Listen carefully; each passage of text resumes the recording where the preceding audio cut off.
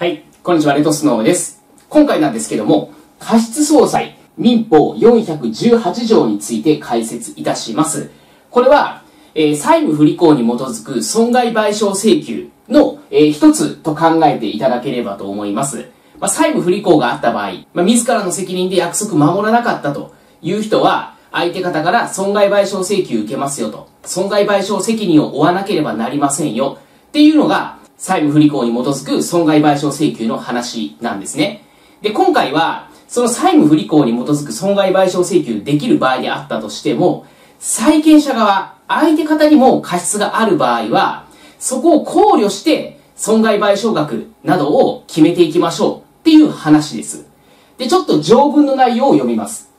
債務の不履行、またはこれによる損害の発生、もしくは拡大に関して、債権者に過失があったときは、裁判所はこれを考慮して損害賠償の責任及びその額を定めると。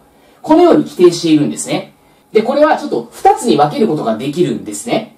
一つ目が債務不履行に関して債権者に過失があったとき。二つ目が債務不履行による損害の発生、もしくは拡大に関して債権者に過失があったときって、まあ二つに分けることができるんですけども、まあそれほどここは気にしなくても大丈夫です。とりあえず債務不履行があって、その債務不履行の原因が債権者側にもあるんだといった場合ですね。そういった場合の話をしているんだってイメージしていただければ大丈夫です。で、この場合、裁判所はこれを考慮してって、これっていうのは債権者の過失です。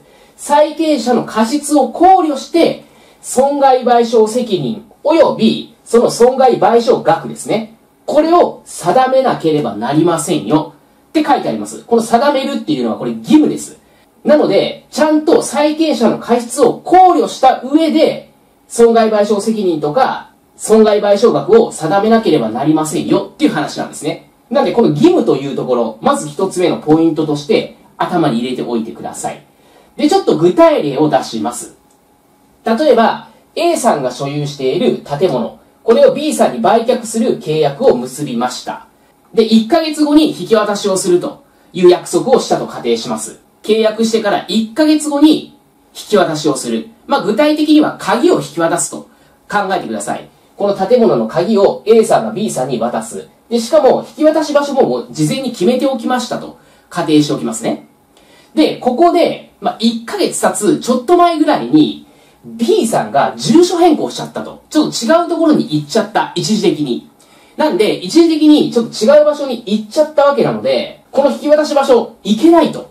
だから、引き渡し場所変えてくださいよという風に連絡したんですね。B さんが A さんに、まあ、手紙で連絡したと仮定します。ただ、その手紙到着するのが遅かった。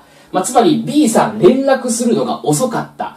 で、その手紙っていうのは、もう A さんのポストには入っていたんですけれども、その引き渡しの前日ぐらいにポストに入っていた。そして A さんがそのポスト見落としちゃったんですね。前日だったために。もちろん毎日見ていたらそれ気づくんですけども、A さんは毎日は見ていなかった。ということで、元々の引き渡し場所に行っちゃったんですよ、当日。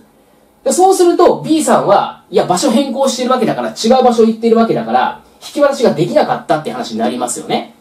で、そうなってきた場合、A さんは債務不履行になるんですよ。A さんはポストを見なかったっていう過失があるわけですね。落ち度があるわけなので、まあ、債務不履行になるわけですよ。履行地帯ですね。で、一方で、引き渡しに関する債権者である B さん。で、引き渡しに関する債権者である B さんは B さんで、連絡するのが遅いんですよね。ギリギリになって手紙出しているわけだから、B さんにも過失がある。つまり債権者にも過失があるということになりますよね。で、この状況で結局、B さんは鍵を預かることができない、引き渡しを受けることができなかったことによって1週間ホテル暮らししちゃったと。で、10万円かかりましたと。つまり B さんは10万円の損害を受けたっていう状況です。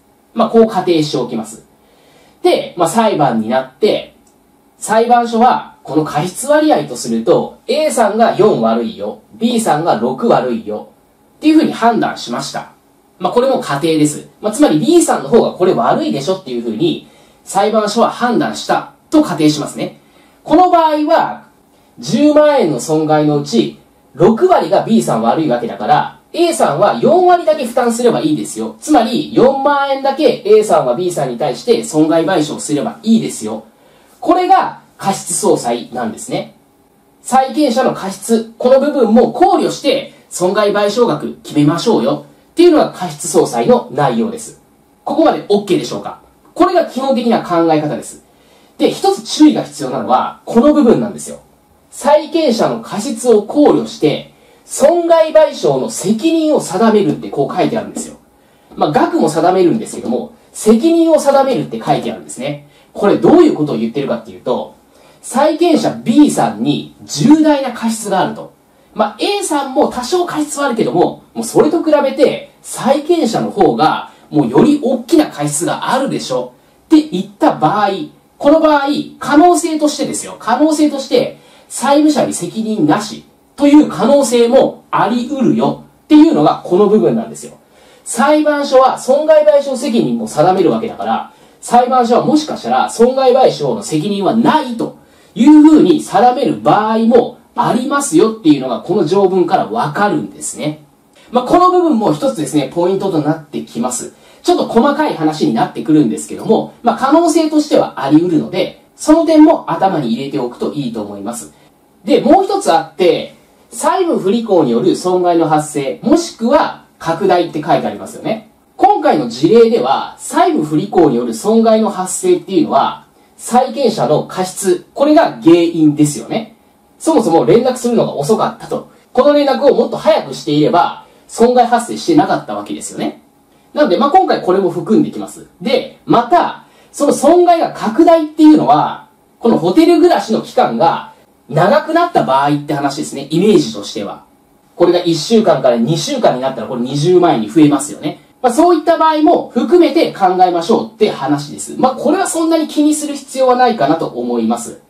まあ、20万円に膨れたというのであれば、まあ、それに関してまた過失割合を考えて、損害賠償額を決定するっていう話なので、まあ、根底についてはそれほど気にする必要はないかなと思います。まあ、とりあえず、今回の動画では、過失総裁がどういった内容なのか、ある程度イメージできればそれで十分です。なんで、この動画の具体例見ながらですね、ぜひイメージをしていただければと思います。